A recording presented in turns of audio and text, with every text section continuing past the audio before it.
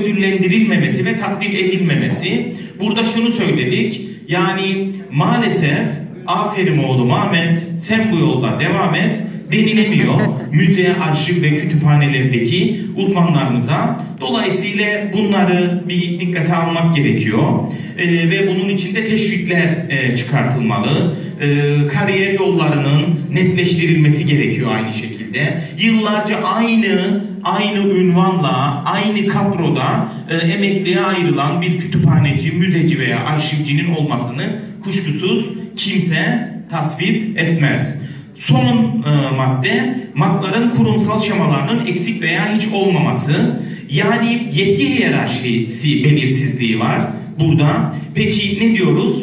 Bu yetki hiyerarşisi belirsizliği için müze, arşiv ve kütüphanelerin net, anlaşılır, e, iş analizlerinin e, açık bir şekilde olduğu bir örgütsel şemaya, organizational chart'a ihtiyaçları var.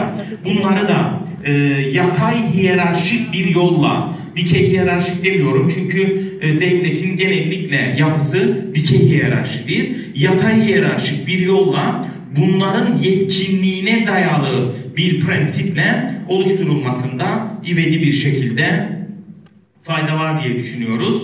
E, grubum adına teşekkür eder, saygılar sunarım.